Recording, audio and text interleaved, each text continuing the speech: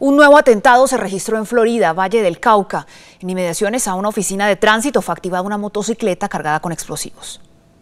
Una motobomba explotó justo enfrente de unas oficinas de tránsito en el municipio de Florida, Valle del Cauca.